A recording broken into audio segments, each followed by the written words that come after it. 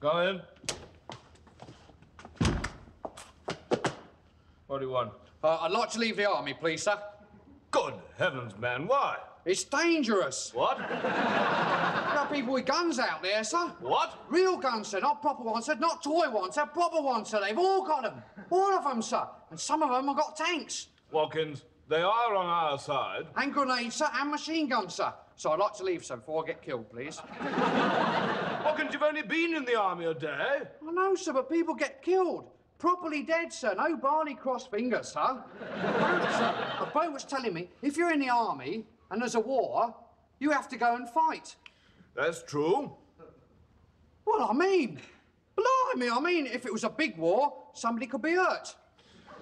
Watkins, why did you join the army? Uh, for the water skiing and for the travel, sir. And Not for the killing, sir. I asked them to put it on my form, sir. No killing. Watkins, are you a pacifist? No, sir, I'm not a pacifist, sir. I'm a coward. That's a very silly line. Sit down. Yes, sir, silly, sir. Awfully bad.